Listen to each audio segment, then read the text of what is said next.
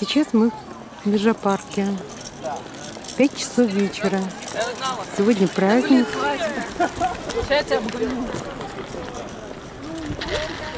5 мая.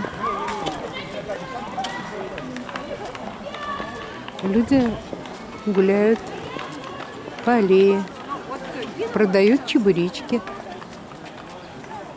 Народу не очень много катаются на роликах, велосипедах.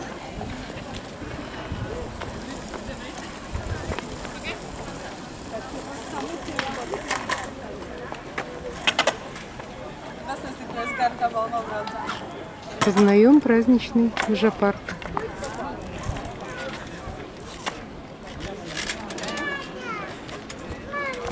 Ну, какая гробить, там довольно.